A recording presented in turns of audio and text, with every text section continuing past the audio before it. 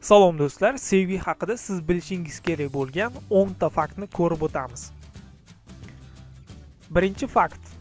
Olimlarning aniqlashicha, agar ilk uchrashuv vaqtida erkak o'z hamrohlik qilayotgan ayoliga 8 soniya ko'z uzmay turib qarasa, demak, u sevib qolgan. Sevish terapiyasi haqida eshitganmisiz? Eshitmagan bo'lsangiz, bizda ikkinchi fakt. Ma'lum bo'lishicha, sevgiga muttalo bo'lgan kishining tanasi va miyasi har doimgidan ko'ra yaxshiroq ishlar ekan.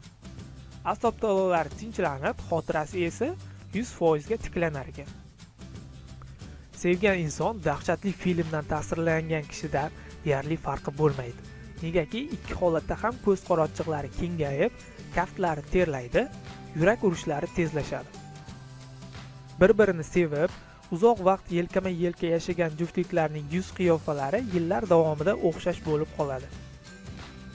Muhabbatga mubtalo kishi aql bovar qilmas ishlarni bajarishga qodir bo'ladi. Chin ma'noda majnunga aylanishning sabablari ilmiy jihatdan aniqlandi. Unga ko'ra sevib qolgan insonning qon tarkibida serotonin gormoni ruhiy xasta odamlarniki kabi kam miqdorda bo'ladi.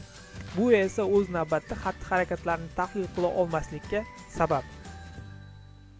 Bu sizni hayratga solmas ammo juftliklarning munosabatida ozgina romantik bo'lish o'rtadagi rishtalarni yanada mustahkamlash ayni haqiqat va bu o'zlarini yanada baxtli his etishlariga turtki bo'ladi. Qadimda yunonlar nomsiz barmoqda yurakka borib ulanadigan qon tomiri o'tgan deb hisoblashgan va uni muhabbat tomiri deyishgan.